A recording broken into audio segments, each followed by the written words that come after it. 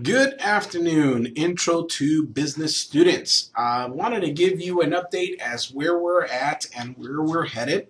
I know that I have not been uh, posting a video last week. I apologize. I was out of the office all week, but I wanted to give you an update in regards to where we stand.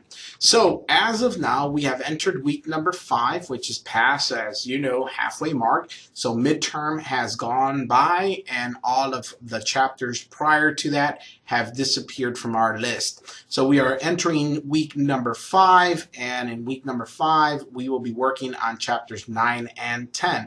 I will be adding uh, the discussion, the alluded discussion that has been uh, hiding from us. Um, I will be adding that for the following week.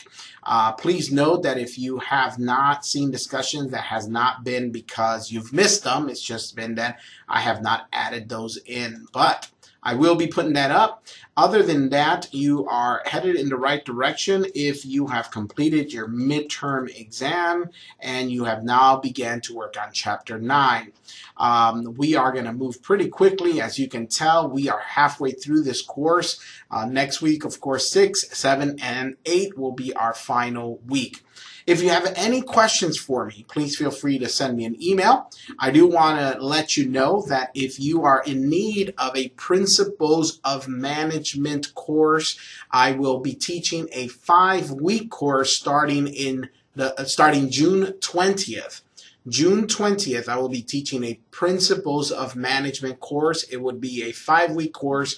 If you are interested, please reach out to me so we can register you in for that uh, C session of summer classes. Other than that, uh, fall begins. Uh, I send out an announcement for that. I think it's the uh, 26th, June 26th. We will begin fall registration. Make sure you get with me or whoever your advisor is. If you happen to have uh, Mr. McFry as your advisor, I will be helping out this uh, semester. Feel free to email me and set up an appointment, and we will get you registered for fall. Other than that, guys, I appreciate your efforts and all your work, and we're almost done with the semester. So let me know if I can support you in any way. Have a wonderful week and talk to you all soon.